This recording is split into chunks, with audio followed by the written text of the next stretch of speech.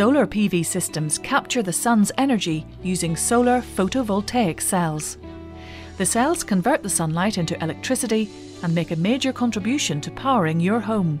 PV panels don't need direct sunlight to work. You still generate electricity on a cloudy day. Let's take a look at the process step by step. Light shines on the PV panels and creates a direct current of electricity. The brighter the light, the more electricity generated. The DC current flows through an inverter, converting it into alternating current, the type of electricity used in your home. From the inverter, the electricity flows through a meter in your mains consumer unit within your fuse box, where it connects with your home's electrical system.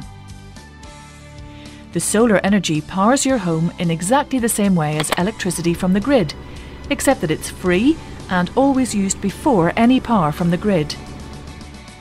At night, or if there isn't enough power from the panels to meet your needs, your normal electricity supply continues to make sure everything works smoothly.